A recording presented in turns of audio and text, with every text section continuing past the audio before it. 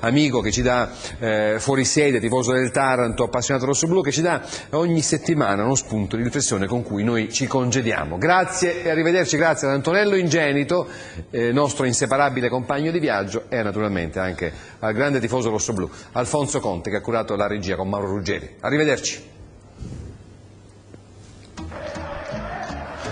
La trasferta di Pisa ha confermato sostanzialmente alcune considerazioni svolte nelle settimane precedenti in relazione a quanto si è visto fuori e dentro il rettangolo di gioco.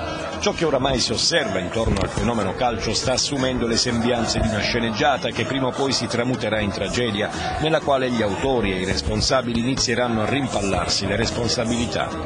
Già nell'incontro in notturna con la Cavese ho avuto modo di apprezzare come l'inutile ed insultante burocrazia abbia cercato di fare di tutto per ostacolare una mite e commovente iniziativa del signor Panarelli per ricordare tutti i tifosi che non ci sono più e che insieme ad Erasmo Iacovone ci guardano da lassù richieste del numero esatto di palloncini, rigorosamente gonfiati ad elio all'esterno dello stadio, colori dei palloncini e tante altre raccomandazioni che mortificano il buon senso ed offendono i sentimenti e le intenzioni di chi voleva semplicemente celebrare un momento commemorativo. La seconda puntata, purtroppo non ultima di questa assurda trama, si è consumata a Pisa. No tessera del tifoso, pronta la polpetta avvelenata, sistemati nella gradinata con ingresso comune e non protetto, con i tifosi avversari e sugli spalti un esile e risibile cordone di stewards, dai volti tesi e terrorizzati di perdere il controllo della situazione. La curva con duplice cancellata contava sei, dico sei tifosi con tessera, tre pompieri e cinque infermieri. Prima della partita alcuni supporters pisani erano preoccupati e increduli sulla follia di questo sistema, con tutta la buona volontà e civiltà. Chi può garantire sulle eventuali intenzioni di un singolo in relazione all'andamento della partita, del comportamento dell'arbitro, dell'atteggiamento dei calciatori? I questori dovrebbero valutare seriamente se vale la pena, per non disattendere i principi della tessera del tifoso, con minor zelo ritardare qualche promozione o onorificenza, evitando, dopo qualche grave ma prevedibile evento, giustificazioni risibili, nascondendosi dietro il rispetto di disposizioni insensate.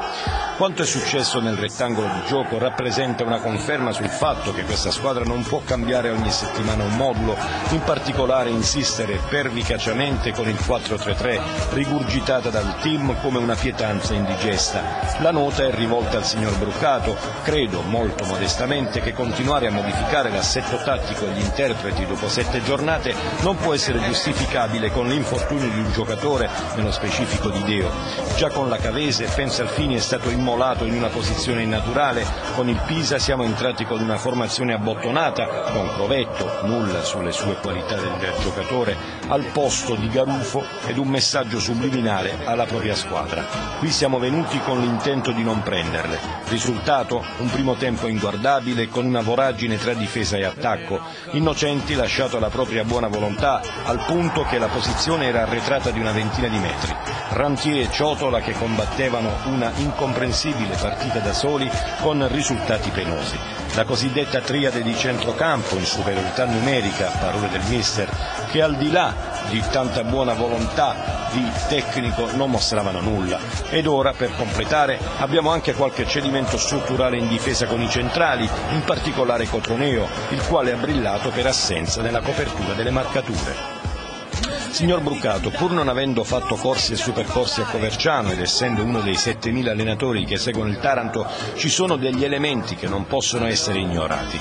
Mi creda, ha un buon organico, peraltro scelto da lei, ma cerchi di convincersi che il calcio è molto più semplice di quanto lei possa immaginare. Confermare Garufo al posto di Crovetto le fa risparmiare un cambio in corso d'opera e una modificazione tattica che comunque ha bisogno dei suoi tempi per divenire oliata ed efficace. Cosa le deve dire un tifoso deluso come il sottoscritto? Attendiamo con speranza di Deo, pensa al fine prosperi, ma aspettiamo soprattutto un gesto di contrizione da parte sua, privo di quella presuntuosa arroganza che vorrebbe mettere due veli trasparenti e smagliati alle contraddizioni tattiche, in ciclica oscillazione galileiana, in attesa di una salutare e sensata quiete Infine un plauso accorato alla maturità e al generoso valore degli spartani al seguito della squadra sotto la torre pendente. Si può essere rispettati semplicemente con il carisma dei cori, dell'autorevolezza, senza sconti per nessuno.